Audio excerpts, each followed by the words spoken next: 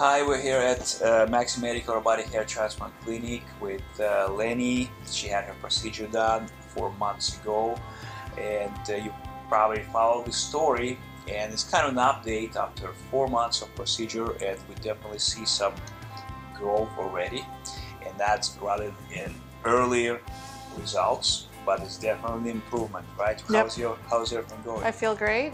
Everybody's commenting every day. Everybody at the office gets excited to tell me how they seeing it grow every day. Somebody's commenting, "Oh, I think it grew a little. I think it grew a little." So it's doing really, really well. Very happy with the results, and they're going to grow more. That is correct.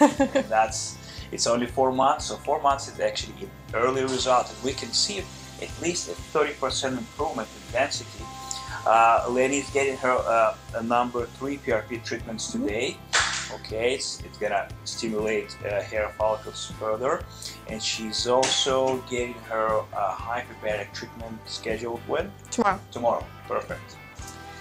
Okay, uh, that was an update, and we'll keep you uh, informed. Thank you, doctor.